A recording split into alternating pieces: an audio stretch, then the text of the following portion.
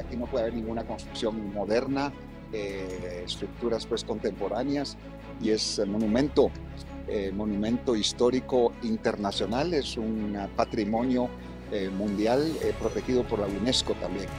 O sea que hemos tenido mucha suerte de, de haber conservado este patrimonio. Hay muchas ciudades coloniales en América Latina que no tuvieron terremoto y entonces se fueron desarrollando y fueron creciendo, se fueron modernizando y nunca conservaron pues, lo que es, lo que es la antigua en México, en algunas, en, Quito, los centros de esas ciudades coloniales sí se han mantenido en algunas ciudades, pero aquí es toda, toda la ciudad que se mantiene de esa, de esa misma manera y rodeada de estos magníficos volcanes, del volcán de fuego, del volcán de Acatenango y el volcán de agua.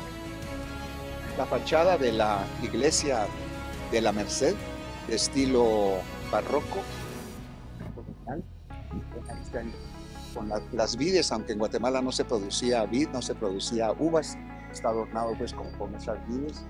Y es realmente un, ejemplo de, del alto, alto barroco colonial también.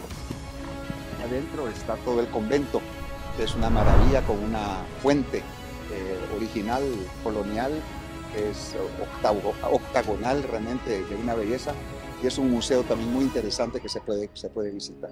Una de las joyas de la ciudad de la.